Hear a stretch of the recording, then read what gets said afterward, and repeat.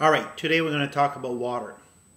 Water is a really good and profound way to keep our, our, body healthy and not only that, it's good for body temperature, it's good for your metabolic rate, it's good for your colon, it's good for your skin.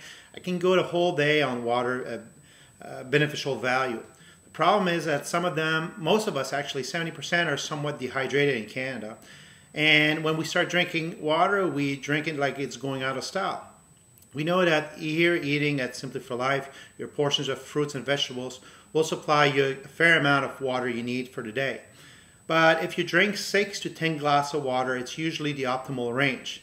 That is taking consideration whether you're uh, engaged in uh, activities or sports that would make you sweat, perspire, or you're in a warmer climate, it's always feasible to drink more fluids.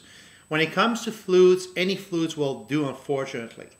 But one thing I will never agree is that you can't compare a liter of orange juice to a liter of water. One contains 1100 calories and the other has zero calories. When it comes to obesity, uh, the prevalence of diabetes, cardiovascular risk, we want to reduce as much sugar as possible. So we try to keep our clients focused on water only.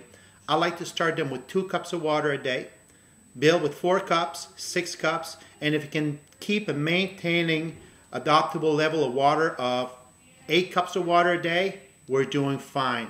If you want to drink 12 cups, it's it's up to you if you're physically active, but I really don't see more than eight cups of water. If you're consuming more sodium, a little bit more hot water will help. So again, six to 10 cups of water a day is optimal range. If you really want to be key, eight cups of water a day. We all know that water makes a huge impact when it comes to weight loss, but it's not the key factor. So good luck to you.